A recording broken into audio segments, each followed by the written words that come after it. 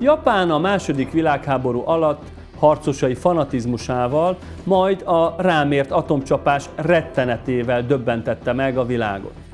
Később kiegyezett ellenségeivel és szépen integrálódott a nyugati globális kapitalizmusba.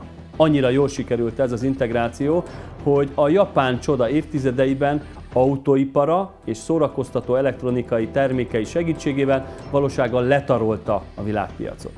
Az ezredforduló után azonban megtorpanni látszik ez a fejlődés, és az ország elveszett évtizedéről szokás beszélni. Abe Shinzo miniszterelnök lemondása még inkább felhívta a figyelmet erre a helykeresésre. A következő enigma a felkelő napországáról szól. Nézzenek minket!